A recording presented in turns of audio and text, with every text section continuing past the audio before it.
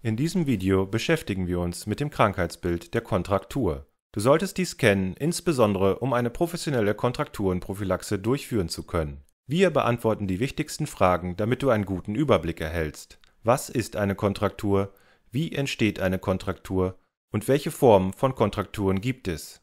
Das Ganze einfach und verständlich erklärt, damit du gut für deine Prüfung und die Pflegepraxis vorbereitet bist. Und damit herzlich willkommen auf unserem Kanal Pflegerelevant. Wir erklären dir die wichtigsten Themen rund um den Pflegeberuf. Was ist eine Kontraktur? Das Wort Kontraktur kann vom lateinischen Wort contrahere abgeleitet werden, was ins Deutsche übersetzt zusammenziehen bedeutet. Diese Bezeichnung ergibt Sinn, denn bei einer Kontraktur verkürzen bzw. ziehen sich Muskeln, Sehnen und Bänder zusammen, wodurch Gelenke nicht mehr vollständig bewegt werden können. Schauen wir uns folgende Definition an. Eine Kontraktur bezeichnet eine Funktions- und Bewegungseinschränkung eines Gelenkes. Die Einschränkung kann bis zum völligen Bewegungsverlust der Gelenksteife eines Gelenkes voranschreiten. Wir sehen, dass eine Kontraktur den Bewegungsapparat, genauer die Gelenke betrifft. Dabei hat grundsätzlich jedes Gelenk ein Kontrakturrisiko. Es kommt zu Funktions- und Bewegungseinschränkungen des Gelenkes so dass ein Gelenk von Betroffenen nur eingeschränkt oder gar nicht mehr aktiv bewegt werden kann. Dieser Prozess kann bis zur völligen Versteifung des Gelenkes voranschreiten. Dies bedeutet, ein betroffenes Gelenk ist in einer Position, beispielsweise der Beugung, fixiert bzw. versteift. Häufig erkennt man Kontrakturen an typischen Gelenkfehlstellungen, welche unnatürlich und verkrampft wirken. Warum ist es wichtig, das Krankheitsbild von Kontrakturen zu kennen? Im Krankenhaus und insbesondere in Pflegeheimen wirst du öfters auf Menschen mit Kontrakturen treffen. Zum einen, weil das Risiko für die Entstehung von Kontrakturen durch Bewegungsmangel bei Patienten und Patientinnen stark erhöht ist und somit Kontrakturen bei falscher oder fehlender Prophylaxe auftreten. Zum anderen kommen aber auch vorerkrankte Menschen aus dem häuslichen Umfeld mit bereits bestehenden Kontrakturen in das Krankenhaus. Kontrakturen können zu schwerwiegenden Folgen für Patienten und Patientinnen führen Bewegungseinschränkung und Schmerzen bei der Bewegung führen zu einem Verlust von Selbstständigkeit, also eine pflegerische Abhängigkeit und eine stark verringerte Lebensqualität. Weiter wird das Risiko für Folgeerkrankungen, beispielsweise Dekubitus, Pneumonie, Thrombose oder weiterer Kontrakturen durch die Bewegungseinschränkung erhöht. Wie entsteht eine Kontraktur? Der Mensch hat eine Vielzahl von Gelenken, wie beispielsweise Fuß- und Sprunggelenke, Kniegelenke, Schultergelenke Hüftgelenke oder Hand und Fingergelenke. Diese Gelenke haben je nach Art einen unterschiedlichen Bewegungsradius. Damit die Funktion der Gelenke erhalten bleibt, müssen diese regelmäßig, ausreichend und in ihrem natürlichen Bewegungsradius vollständig bewegt werden. Es gibt unter anderem Scharniergelenke, welche nur in Streckung und Beugung bewegt werden können, wie beispielsweise das Ellenbogengelenk, oder Kugelgelenke wie Schulter oder Hüftgelenke, welche neben der Streckung und Beugung auch noch ein Abspreizen und Heranführen zum Körper sowie eine Drehung in Form von Innen und Außenrotationen ermöglichen. Zur Bewegung der Gelenke sind außerdem Strukturen wie Muskeln, Bänder, Sehnen und Nerven notwendig. Schauen wir uns die Pathogenese, also den Krankheitsverlauf einer Kontraktur an. Fehlt die ausreichende Bewegung eines Gelenkes, leidet der Stoffwechsel. Die Gelenkstrukturen werden weniger durchblutet und die Gelenkkapsel schrumpft Aufgrund der fehlenden Dehnung verkürzen Muskeln, Bänder und Sehnen.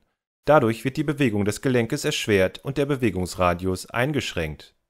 Die Verkürzung von Muskeln trägt damit maßgeblich zur Entstehung von Kontrakturen bei. Warum Muskelgruppen verkürzen können, zeigen wir an einem Beispiel.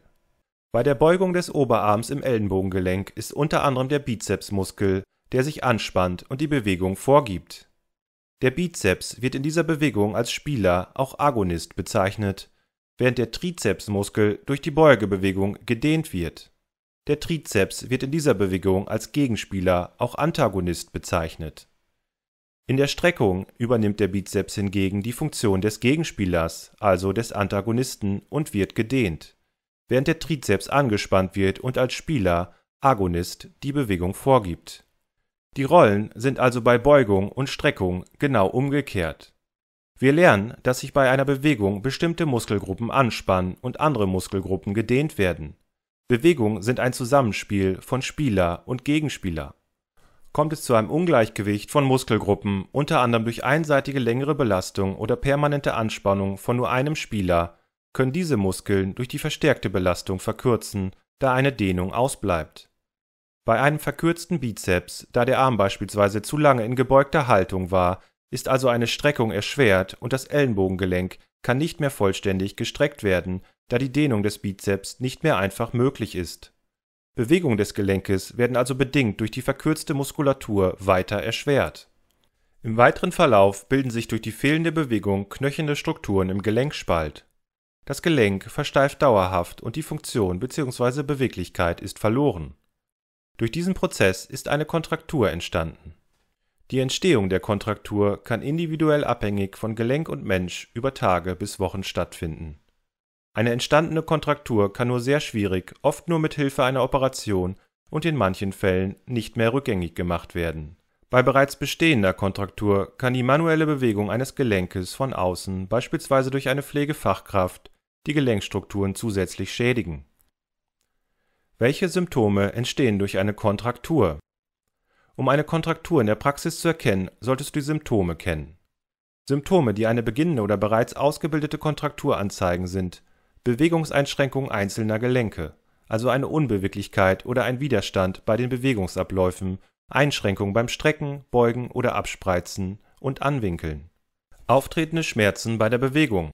Eine Kontraktur selbst ist nicht schmerzhaft, sondern der Versuch, ein Gelenk mit Kontraktur zu bewegen, bedingt durch eine verkürzte Muskulatur oder fehlende Gelenksflüssigkeit. Muskelverspannung die Muskeln und Strukturen um ein betroffenes Gelenk sind häufig verhärtet und angespannt. Fehlstellung des Gelenkes. Das Gelenk befindet sich dauerhaft in einer abnormalen Stellung, beispielsweise ein abgeknicktes Handgelenk oder einzelne zusammengekrallte Finger. Anhand der Symptome kann vom ärztlichen Dienst eine Diagnose erstellt werden, indem die Beweglichkeit der einzelnen Gelenke überprüft sowie auf Schmerzäußerung bei den Bewegungsabläufen geachtet wird um Verspannung zu erkennen, können die Gelenkstrukturen durch Palpation, das Fachwort für Abtasten, auf Verhärtung abgetastet werden. Eine Überprüfung, ob sich alle Gelenke in Ruhestellung in einer natürlichen Haltung befinden oder ob Fehlstellungen der Gelenke erkennbar sind. Zusätzlich können bildgebende Verfahren wie Röntgen genutzt werden, um die inneren Gelenkstrukturen, insbesondere Verknöcherungen im Gelenk, sichtbar zu machen. Welche Ursachen führen zu einer Kontraktur Kontrakturen können nach ihrer Ätiologie eingeteilt werden. Die Ätiologie bezeichnet in der medizinischen Fachsprache die Ursachen und Auslöser von Erkrankungen. Atrogene Kontrakturen von griechisch atron „ Gelenk “. Atrogene Kontrakturen sind verursacht durch Schädigung oder Zerstörung der Gelenkflächen, wie durch Entzündung, beispielsweise Arthritis oder Rheuma, Tumore oder Verletzungen am Gelenk oder durch Abnutzung und Verschleiß am Gelenk, auch als Arthrose bezeichnet, bei dem die Gelenkstruktur zerstört wird.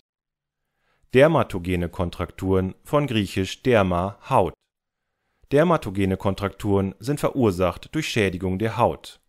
Durch tiefe Hautverletzung oder Verbrennung der Haut kann die Beweglichkeit der Gelenke durch großflächige Narbenbildung stark eingeschränkt werden und es entstehen durch den Hautzug bzw. der fehlenden Hautfläche Fehlstellungen und Kontrakturen Neurogene Kontrakturen von griechisch neuron „ Nerv “. Neurogene Kontrakturen entstehen durch Schädigung des zentralen oder peripheren Nervensystems, wodurch bestimmte Bewegungen nicht mehr möglich sind und Gelenke Kontrakturen entwickeln. Eine Schädigung des zentralen Nervensystems, also dem Nervensystem des Gehirns und Rückenmarks, wäre beispielsweise eine Folge von Unfällen mit Verletzung des Gehirns oder Rückenmarksverletzung, als Folge eines Schlaganfalls sowie neurologischen Erkrankungen wie Parkinson oder Demenz. Eine Schädigung des peripheren Nervensystems könnte beispielsweise durch periphere Verletzung wie der Hand oder des Beins oder als Folge von Erkrankungen wie Diabetes mellitus entstehen. Tendomyogene Kontrakturen von griechisch tendo „ Sehne “und mys „ Muskeln. Kontrakturen durch Verkürzung, Schädigung in Sehnen oder Muskeln.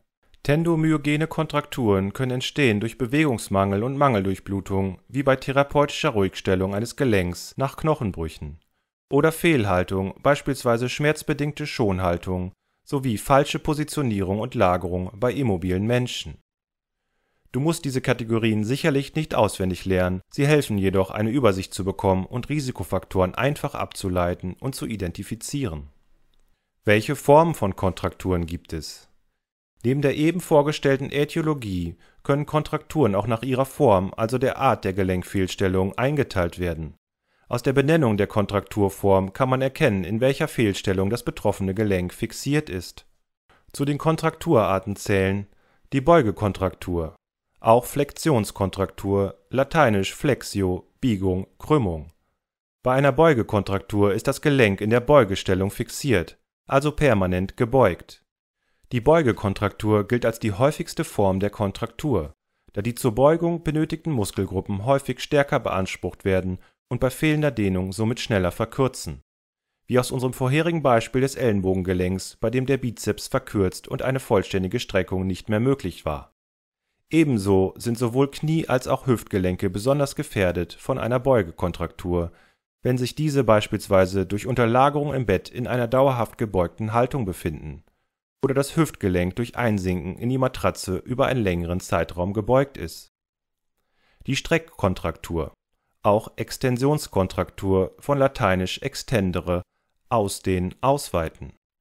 Bei einer Streckkontraktur ist das betroffene Gelenk in der Streckstellung fixiert also permanent gestreckt und kann nicht mehr vollständig gebeugt werden. Die Adduktionskontraktur von lateinisch adducere heranführen. Das Gelenk ist in einer adduzierten Position, also am Körper fixiert. Die Adduktionskontraktur kann beispielsweise nach einer Schulterverletzung und dem längeren Tragen eines speziellen Gilchrist-Verbandes auftreten. Ein Abspreizen des Schultergelenkes vom Körper weg ist dann nicht mehr vollständig möglich diese Form betrifft insbesondere Kugelgelenke wie das Schultergelenk oder das Hüftgelenk, welche neben der Streck und Beugebewegung auch vom Körper abgespreizt und herangeführt werden können. Die Abduktionskontraktur von lateinisch abductio wegführen ist das Gegenteil der Adduktionskontraktur, in der das Gelenk in einer abduzierten, also körperfernen Position fixiert ist, beispielsweise im Hüftgelenk, wenn die Beine längere Zeit abgespreizt vom Körper positioniert werden wie kann eine Kontraktur vorgebeugt werden? Die Kontrakturenprophylaxe umfasst alle pflegerischen Maßnahmen, um die Entstehung einer Kontraktur in der Pflegepraxis vorzubeugen, mit dem Ziel zur Erhaltung und Förderung der Beweglichkeit der Gelenke und damit die Vermeidung von Fehlstellung und dauerhaften Bewegungseinschränkungen.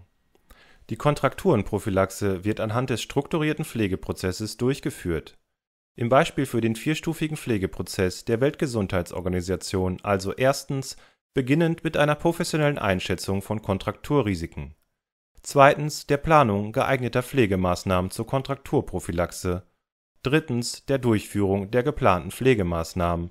Sowie viertens einer regelmäßigen Evaluation des Pflegeprozesses zur Kontrakturenprophylaxe, also der Bewertung, ob Informationen und Maßnahmen noch aktuell und zielführend sind in unserem nächsten Video zeigen wir dir Schritt für Schritt, wie die Kontrakturenprophylaxe anhand des Pflegeprozesses strukturiert geplant und durchgeführt werden kann.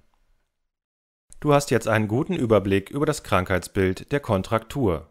Was du auf jeden Fall für die Prüfung wissen solltest, ist zusammenfassend Kontrakturen betreffen die Gelenke, welche im Krankheitsverlauf verknöchern bzw. versteifen können die Ätiologie ist vielfältig, beispielsweise durch verkürzte Muskulatur, Nervenschädigung oder Gelenkserkrankungen, welche zur Bewegungseinschränkung von Gelenkstrukturen beitragen und dadurch zu Kontraktur führen.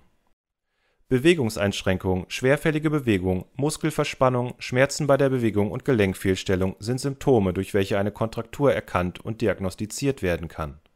Es gibt unterschiedliche Arten von Kontrakturen. Die häufigste Form ist die Beugekontraktur bei der ein Gelenk in der Beugestellung fixiert ist und nicht mehr vollständig gestreckt werden kann. Bewegungseingeschränkte Menschen haben durch den Bewegungsmangel ein besonders hohes Kontrakturrisiko. Um die Funktion der Gelenke zu erhalten, ist eine regelmäßige und ausreichende Bewegung nötig.